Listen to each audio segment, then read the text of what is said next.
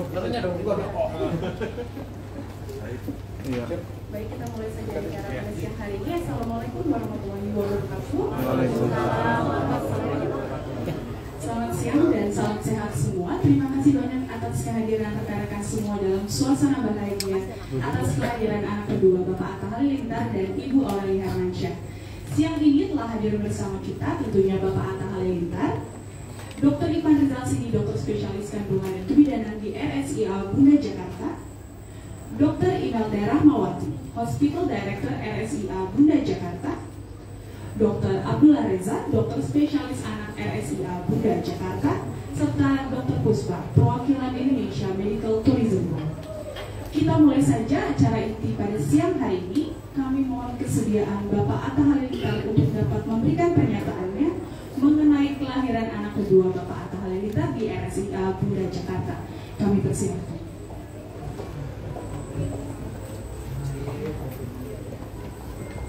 Assalamualaikum warahmatullahi Assalamualaikum warahmatullahi wabarakatuh. Sebelumnya saya mau berterima kasih kepada Tuhan Yang Maha Esa eh, memberikan rezeki buat saya dan istri di tanggal 11 kemarin eh, punya putri kedua kami. Dan saya juga mau berterima kasih ke dokter-dokter saya yang di samping samping saya ini. Luar biasa sekali terutama dokter Ivan yang sudah membimbing kami dari bulan pertama. Eh itu baru tahunnya bulan ketiga ya kayaknya. Bulan ketiga tahun lagi akhirnya. Sampai kemarin akhiran selalu didampingi.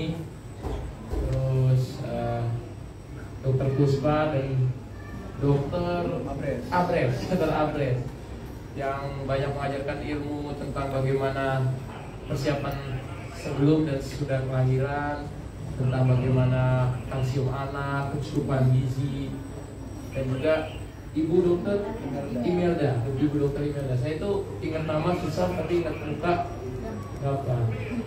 Jadi eh, senang banget lah saya bisa ada di eh, di sekitar dokter-dokter hebat ini. Dan ini suatu rezeki yang luar biasa karena nggak nggak pernah nggak pernah nggak planning mau anak kedua secepat ini. Tapi memang Tuhan kalau udah kasih ya ternyata ini rezeki yang luar biasa banget. Dan terima kasih banyak. Seperti itu. Kira-kira openingnya kayak gitu Baik, kalau gitu kita langsung saja sesi tanya jawab. Kita boleh buka. Bagi rekan-rekan yang ingin bertanya, Oke, Anda mungkin Ata mungkin seperti apa sih kemarin sendiri kan kelahirannya gimana gitu kan anak ada apa seperti apa suasana di dalam pas uh, lahiran sendiri iya suasananya menurutku eh, apa enggak? hikmat banget karena eh, Aurel itu nggak pernah mau nggak pernah se apa ya dia susah percaya sama dokter jadi dia kalau lahiran pasti nyarinya dokter Ivan.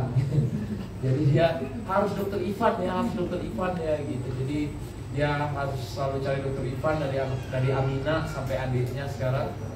Eh, jadi suasana di dalam itu Aurelnya yang penting dia bawa percaya sama dirinya karena eh, di sekitarnya dokter yang udah bikin dia nyaman gitu. Dan ya situasinya di dalam menurutku memang setiap lahiran pasti deg-degan mau ibu mau bapak mau di mana pun ya itu pasti deg-degannya luar biasa banget. Apalagi kan kita ngeliat mau menurut saya mau ibu itu lahirannya normal mau ibu itu lahirannya sesar menurut saya ibu tetap ibu ya. Karena sembilan bulannya tetap mengandung ya.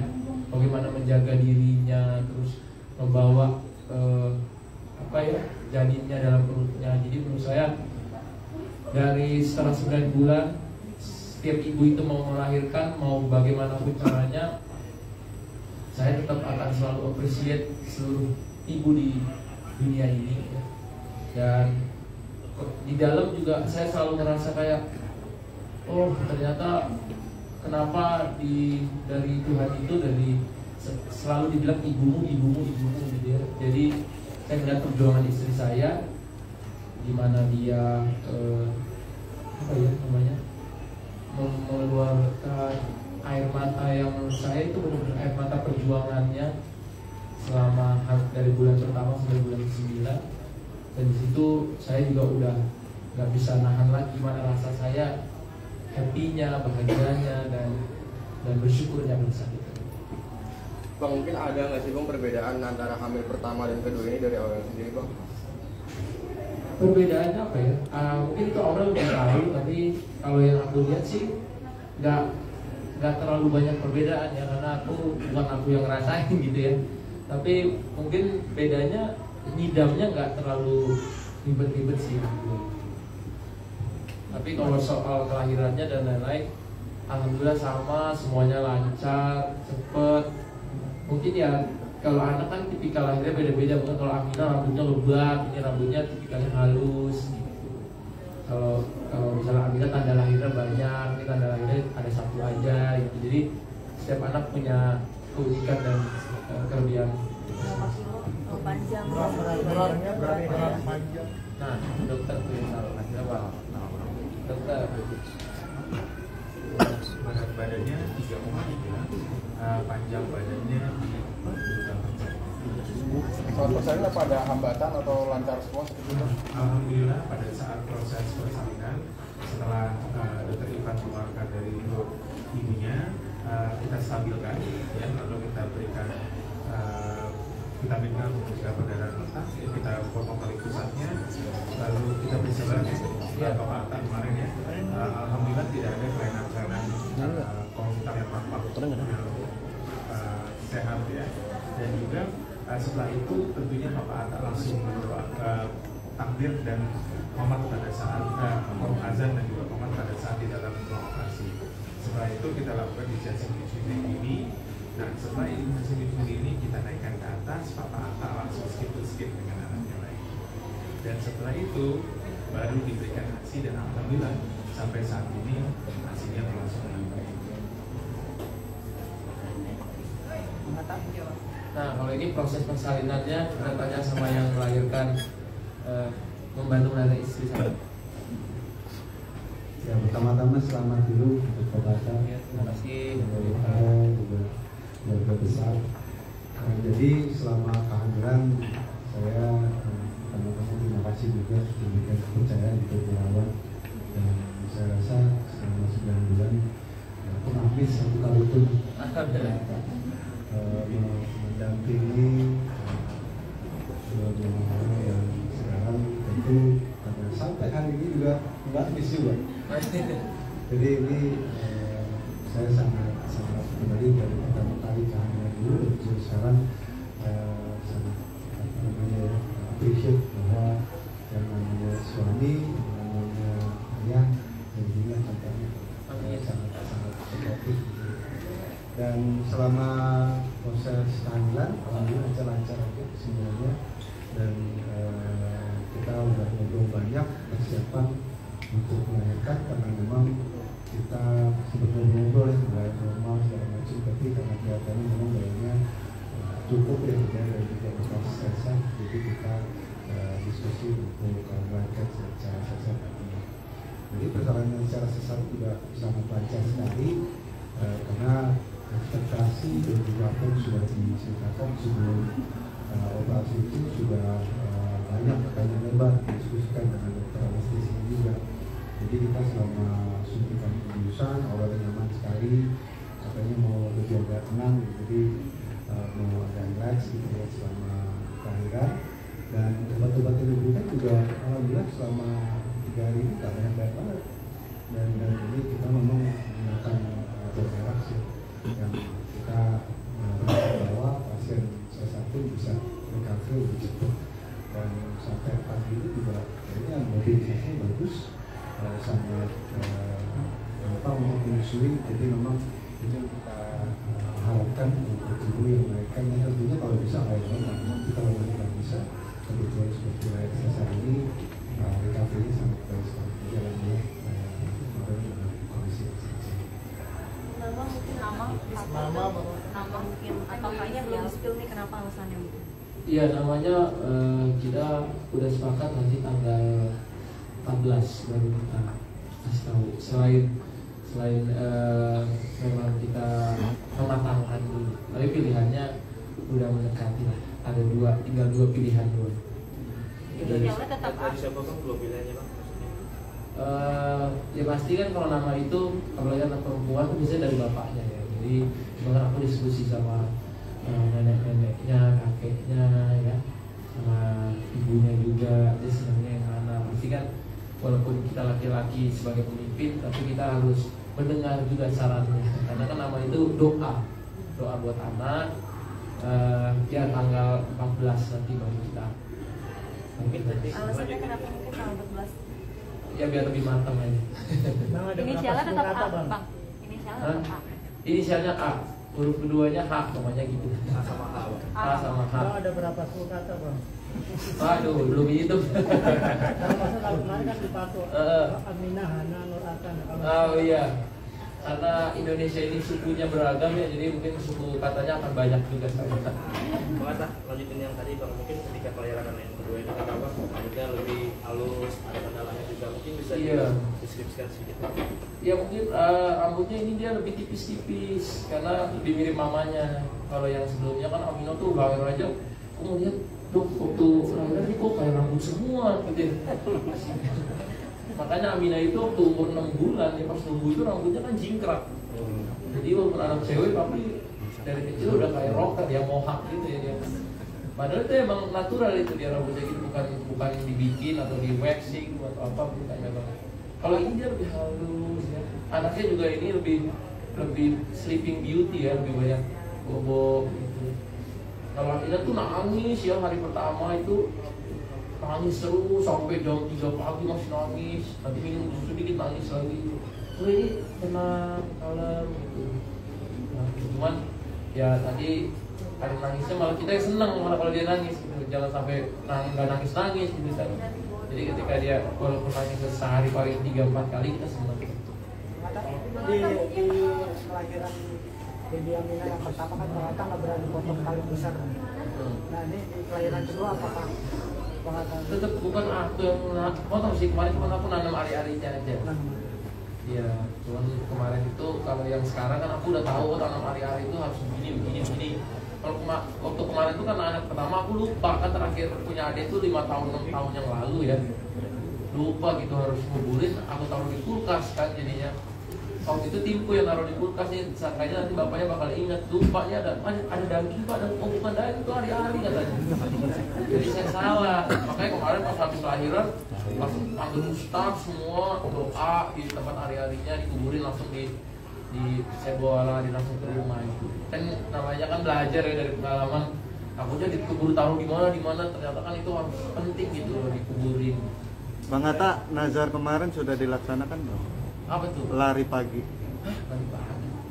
di taman daerah seputar nazar? Dari mana tuh kabarnya? Kemarin waktu wawancara di rumah sebelum Iya. berangkat, nah, nanti coba saya lihat lagi ya wawancara. Iya. Saya- mungkin reaksi Aminah pas pertama kali adiknya seperti apa sih? Eh, Amina memang dari sebelum adiknya lahir dia udah mulai apa ya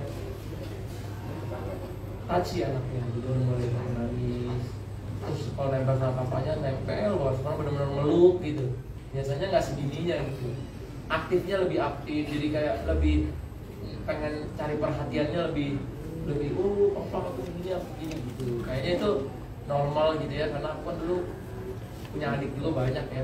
Jadi pasti anak-anak itu pengen oh aku tetap tetap jangan semuanya lihat adiknya gitu mungkin ya. Jadi kadang-kadang mamanya dia tidurin adiknya aku tidurin aminanya gitu karena memang dia lagi ininya lagi taci-tacinya gitu. Jadi lihat apa nangis nangis.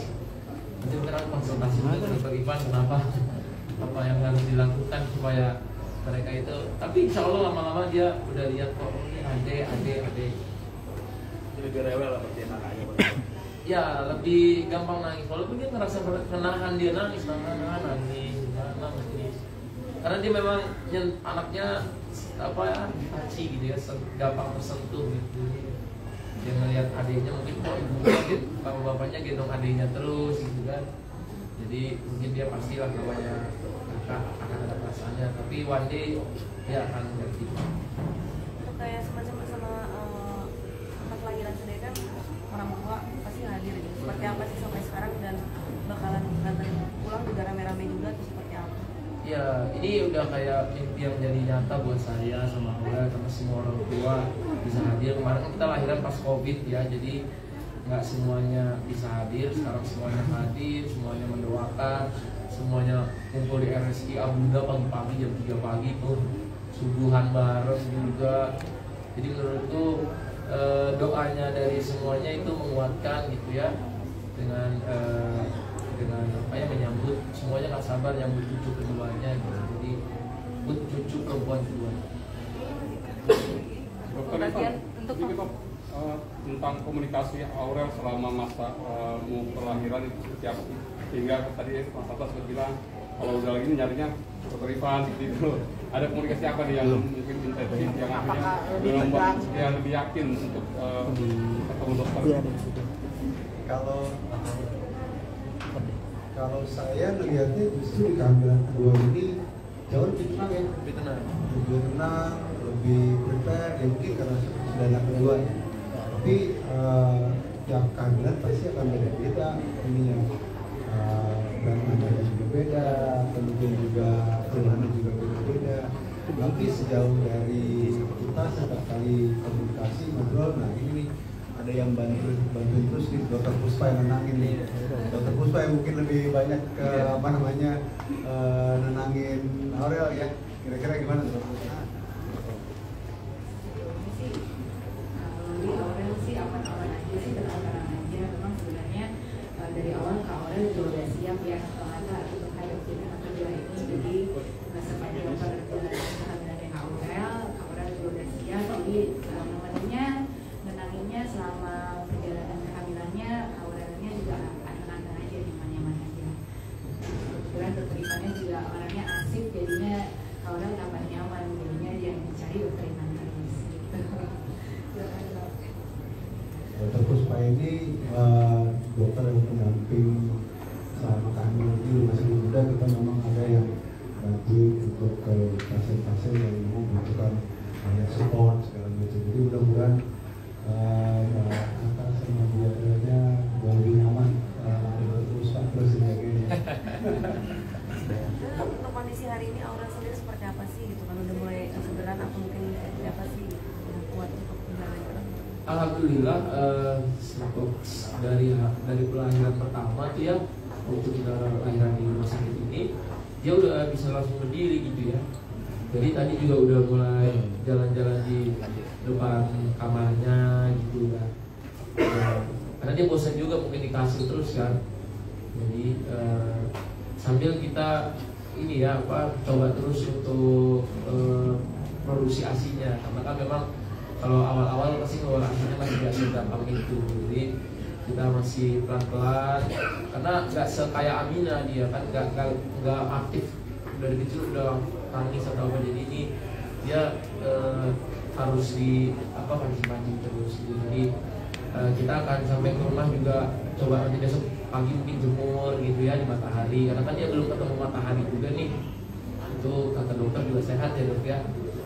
Walaupun, tapi harus pagi? Tadi kalau jemur sekarang kan sini kayaknya banyak asap ya kalau di sini kita coba di tempat yang nggak dilewatin. Eh, banyak terlalu banyak kendaraan gitu. Rencana kapan balik Mas Rencana pulang sendiri Mas?